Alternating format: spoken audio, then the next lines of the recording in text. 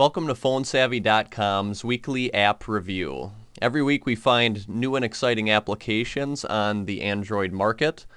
There's over half a million apps on the market. We pick out some unique applications that we find interesting and we want to share them with you so you can enjoy them as well. Every week we find new apps. Make sure you subscribe to us on YouTube to catch all of our app reviews so that you can get the hottest trending applications on the market. If you have an Android phone, select your market application where you can find all of the apps. And an application that I recently found is called Shoot the Apple. A very hot trending application right now. If you select the search option in the market and type in the word shoot, you should see Shoot the Apple as an option, otherwise type it out. And when you select Shoot the Apple, the first application you should see is right here by DroidHen. Shoot the Apple, very similar game to Angry Birds, and a little more difficult to master. Once you download Shoot the Apple, you can find the application in your full list of apps on your Android device.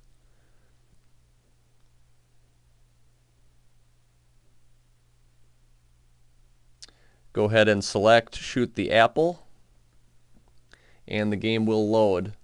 And let me show you how to play this fun game. Basically, hit the start option and it lets you know which world you are on. In order to get to the next world, you have to earn enough points. It lets you know how many coins you have in the top left corner.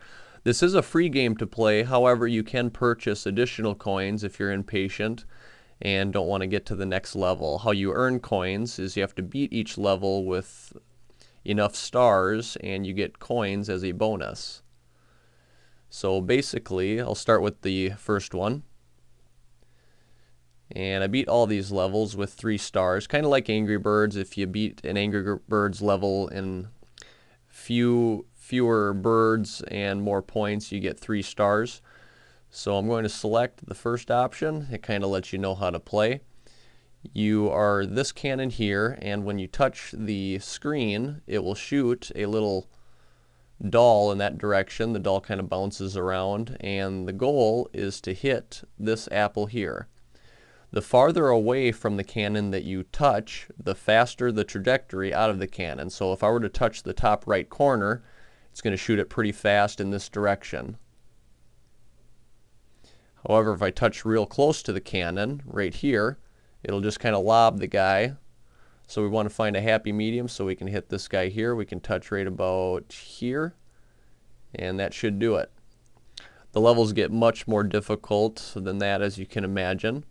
Other obstacles you have to go around moving, moving obstacles.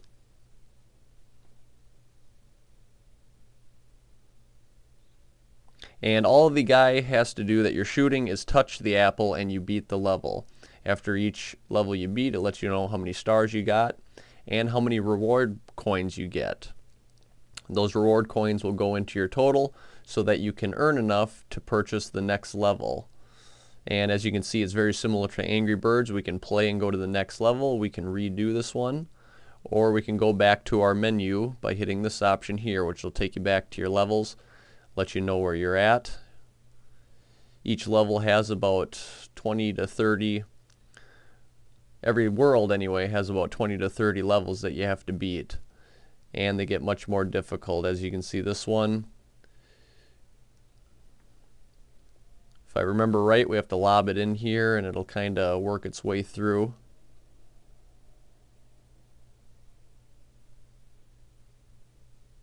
And there we go.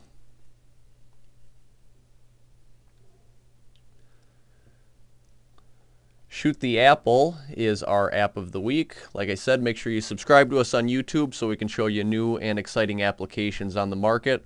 We know that there's many applications. It's hard to filter out and find the fun ones. This is a very addicting game and I've been playing it nonstop since I've got it. Also, if you want to see our app reviews on our website, visit phonesavvy.com where you can catch all of our app reviews and get answers to all of your common questions to your smartphone.